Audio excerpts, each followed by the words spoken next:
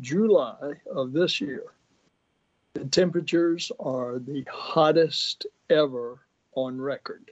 That's the assessment from climate experts and leaders at NASA and NOAA, the National Oceanic and Atmospheric Administration, who said Monday that 2023 could end up being the warmest year since record keeping began in the mid 1800s. The heat may seem like old news to anyone who experienced broiling temperatures last month, but NASA Administrator Bill Nelson said the warming planet was also fueling disasters from flash flooding in Vermont to deadly wildfires in Hawaii. And of course, what we're watching in real time the disaster that has occurred in Hawaii with the wildfires, which were in part fueled by a typhoon or hurricane that was out in the Pacific.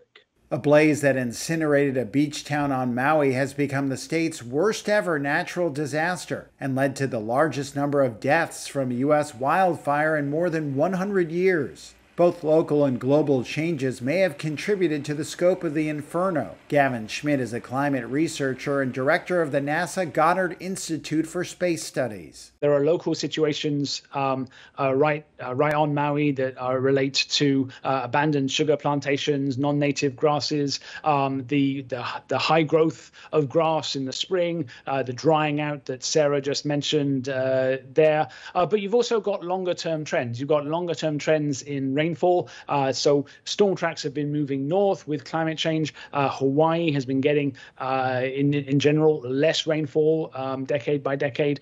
Researchers say they expect 2024 to be even hotter. And folks, Mother Nature is sending us a message. And that message is we better act now before it's too late to save our climate. NASA is making all of the information it collects publicly available and is working to make it easier to use so that people can understand what's happening in their communities and help plan for the future.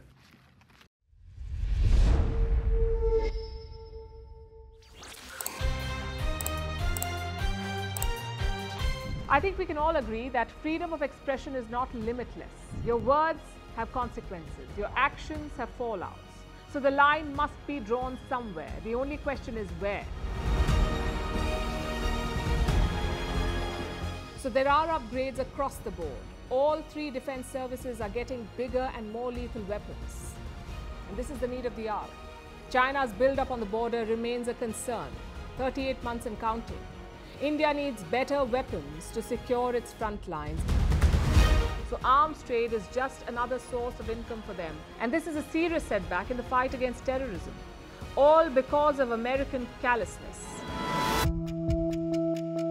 So the stock rally is like a vote of confidence from investors. They are betting on India. They're positive about the India story. It's the government's job now to repay that faith. This incident once again highlights the role of social media and the internet. It's a double-edged sword, really. So tough times for the world. There is inflation, layoffs and pay cuts. But not for King Charles of Britain. Forget pay cuts. He's all set to receive a massive pay hike. What is offensive to one religion could be sacred to another. Europe must realize this. They keep lecturing the world about minorities, how they should be protected, how their rights and culture must be promoted. But at home, it's the exact opposite. People are burning the holy book of your minority group. And what is your response? You say it's freedom of expression.